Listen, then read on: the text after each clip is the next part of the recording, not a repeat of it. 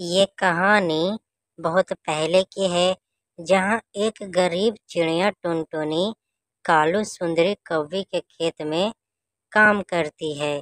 फिर एक दिन सुनो टुनटुनी चिड़िया, हमारा खेत काफ़ी सालों से बंजर पड़ा है। मैं चाहती हूँ कि उस पर तुम नींबू की खेती करो। इस तरह तुम्हें काम भी मिल जाएगा और हमारे खेत में फ़सल भी उग जाएगी। सुंदरी कौवी की यह बात सुनकर टुनटुनी चिड़िया बहुत खुश हो जाती है क्योंकि उसे अपना घर चलाने के लिए काम की ज़रूरत थी। जी सुंदरी बहन क्यों नहीं?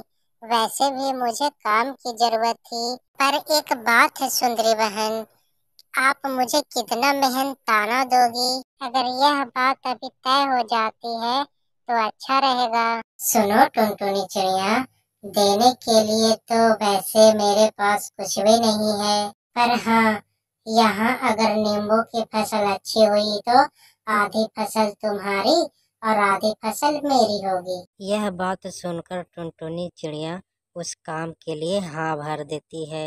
फिर वो अपने पति टुन्नू चिड़ा के साथ दिन रात बारिश में काफ़ी मेहनत कर कर नींबू के बीज लगाते हैं। ऐसे ही काफ़ी महीने निकल जाते हैं और एक दिन टुनटुनी चिड़िया और उसके पति टुन्नू चिड़ा के मेहनत का फल रंग लाती है, जिसे देखकर टुनटुनी चिड़िया और उसके पति टुन्नू चिड़ा बहुत खुश हो जाते हैं। एक दिन कालू कौआ और अपनी पत्नी सुंदरी कौवी के साथ खेत पे आता है। अपने खेत में नींबू लहराता हुआ देखकर वह बहुत खुश हो जाता है। सुंदरी, आज से पहले हमारे खेत में कभी भी ऐसी फ़सल नहीं हुई थी। मैंने अपने खेत में पहली बार ऐसी फ़सल देखी है। मेरे पिताजी ने बहुत बार फ़सल उगाई, पर ऐसी फ़सल तो कभी नहीं हुई। टुनटुनी चिड़िया ने बहुत ही मेहनत के साथ काम किया है। वह सारा दिन खेत में लगी रहती थी। सुंदरी अब फ़सल तो तैयार हो गई है। क्यों नहीं टुनटुनी चिड़िया अगर इस फ़सल को काटने आए तो? हम उसे भगा दें। कालू जी चाहती तो मैं भी यही हूँ पर ये सब कैसे होगा? सुंदरी मैं ये सब कर लूँगा। तुम ये सब मुझ पे छोड़ दो। तुम बिल्कुल भी चिंता मत करो मैं सब कर लूँगा। वहीं दूसरी तरफ़ टुनटुनी चिड़िया बहुत खुश थी क्योंकि आज फ़सल काटने का समय आ गया था। टुन्नू जी जल्दी चलो। आज हमारी फ़सल की कटाई करनी है। उसके बाद हमारा जो हिस्सा मिलेगा उसे बेचकर हम अपने लिए एक बढ़िया सा घोंसला बनाएँगे। हाँ टुनटुनी मैं दराते उठाकर चलता हूँ और तुम पानी का मटका उठा लो। हम बैलगाड़ी के साथ जाएँगे। दोनों अपना सामान रखकर और बैलगाड़ी के साथ खेत पर आ जाते हैं। पति पत्नी दिन भर काम करते हैं और सारे नींबू तोड़ने के बाद और वो सब इकट्ठा कर लेते हैं। तभी कालू कौआ वहाँ पे लाठी लेकर आ जाता है। कौन हो तुम दोनों? और यहाँ मेरे खेत पे बिने पूछे, क्या कर रहे हो तुम दोनों? ये आप मज़ाक कर रहे हो कालू भैया। हमें जानते तो हो। हमने ही तो आपके खेत में नींबू की फ़सल बोई है। अरे भागो यहाँ से। पता नहीं कहाँ कहाँ से मुँह उठाकर यहाँ आ जाते हैं। मैं तुम्हें नहीं जानता। सुनो कालू भैया, हमने आपकी पत्नी के कहने पर ही यह खेत में फ़सल उगाई थी। और आप हमें भगा रहे हो यह तो बहुत गलत बात है ना? अच्छा अगर मेरी पत्नी कहेगी कि तुम कुएँ में छलांग लगा तो क्या तुम कुएँ में छलांग लगाओगी? बोलो बोलो चुप क्यों हो? अरे उसका तो दिमाग खराब है। जो मुझसे बिना पूछे तुम दोनों को मेरा खेत दे दिया। टुन्नू जी मैंने तो यह सोचा नहीं था। अब हम क्या करेंगे?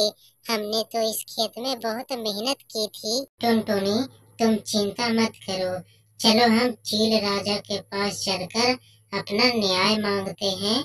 यह सुनकर टुनटुनी चिड़िया को कुछ उम्मीद मिलती है। टुनटुनी और टुन्नू चिड़ा चील राजा के पास चले जाते हैं। तभी इधर सुंदरी कभी आ जाती है। अरे वाह कालू जी क्या नाटक किया है आपने और आपने उन्हें भगा दिया। कालू जी हम इन नींबू में से आधा नींबू बेचकर अपने लिए गहने बनवाऊँगी और अपने लिए साल भर का अनाज भी इकट्ठा करूँगी। पति पत्नी दोनों हंसने लगते हैं और उधर टुनटुनी चिड़िया और टुन्नू चिड़ा चील राजा को पूरी बात बताते हैं। राजा जी आप हमारा न्याय करो। हमने कालू कौआ और सुंदरी कौवी के खेत में मेहनत करके नींबू उगाए हैं। जब नींबू बांटने की बारी आई तो उन्होंने वहाँ से हमें भगा दिया। चील राजा यह बात सुनकर कहता है सैनिकों जल्दी जाओ और उन दोनों को यहाँ बुला कर लाओ। राजा के सैनिक जाकर कालू और सुंदरी को उन्हें महल में बुला लाते हैं। कालू टुनटुनी चिड़िया ने तो हमें अपनी बात बता दी है। अब तुम अपनी बात बताओ, असल में मांजरा क्या है? राजा जी, वह खेत मेरा है और टुनटुनी चिड़िया ने मुझसे बिना पूछे उस खेत में फ़सल क्यों उगाई? नहीं नहीं राजा जी हमें सुंदरी कवि ने उस खेत में फ़सल उगाने को कहा था। इसलिए हमने उसमें खेती की थी और उसने मेहनताना के आधा फ़सल देने का वादा भी किया था। राजा जी, यह सरासर गलत बात है। यह मेरी पत्नी सुंदरी कवि है और इसका दिमाग ठीक नहीं है। ये तो पागल है पागल। हाँ राजा जी मैंने तो टुनटुनी चिड़िया से मज़ाक किया था और टुनटुनी चिड़िया ने उसे सच समझ लिया। अब इसमें मेरा क्या दोष है? कालू और सुंदरी कवि की बात सुनकर चील राजा अपने सैनिकों से कहते हैं सैनिकों जल्दी से जाओ और नींबू की फ़सल बैलगाड़ी में यहाँ ले आओ। हम अपना फैसला तभी सुनाएँगे कौन सच बोल रहा है और कौन झूठ चील राजा के सैनिक वहाँ जाते हैं और सारे नींबू की फ़सल बैलगाड़ी में लोड करके महल में ले आते हैं। चील राजा टुनटुनी चिड़िया और सुंदरी कवि को आधा आधा फ़सल दोनों को बांट देते हैं। टुनटुनी चिड़िया राजा के न्याय पर बहुत खुश थी। आपका बहुत बहुत धन्यवाद राजा जी। आपने बहुत अच्छा न्याय किया वरना हमने तो सारी उम्मीदें ही छोड़ दी थी।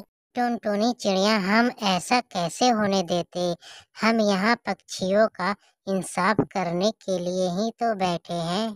फिर टुनटुनी चिड़िया और टुन्नू चिड़ा अपनी नींबू की फ़सल बैलगाड़ी में लोड कर कर अपने घर ले आते हैं। वहाँ कालू और सुंदरी कवि को अपने किए पर बहुत पछतावा होता है।